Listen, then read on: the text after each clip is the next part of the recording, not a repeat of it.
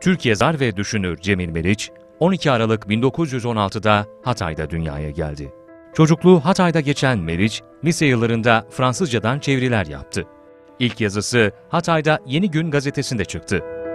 20. asır, Yeni İnsan, Hisar, Türk Edebiyatı, Yeni Devir, Pınar, Doğuş ve Edebiyat dergilerinde yazılar yazdı.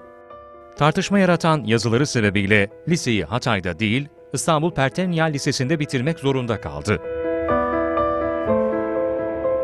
Bu dönemde kendi imzasını kullanmadan Stalin ve Gaston Jez'in kitaplarını çevirdi.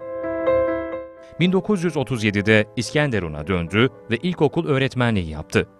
Yine bu yıllarda Hatay hükümetini devirmek suçundan idam talebiyle yargılandı. Dergi ve kitaplarına el konuldu.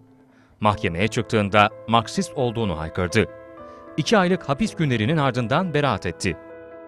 İstanbul Üniversitesi Edebiyat Fakültesi Fransız Dili ve Edebiyatı bölümünden mezun oldu.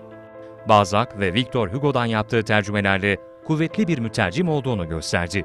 Düşünce, deneme ve inceleme alanında eserler veren Cemil Meriç, ilk kitabı Hint Edebiyatı'nı 1964'te yayınladı. 38 yaşındayken görme yetisini kaybetti. Kızının ve öğrencilerinin yardımıyla çalışmalarını vefatına dek sürdürdü.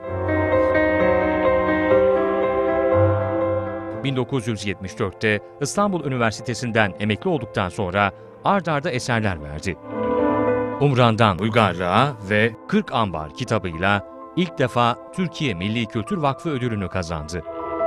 1984'te önce beyin kanaması, ardından felç geçiren Cemil Meriç, 13 Haziran 1987'de İstanbul'da vefat etti.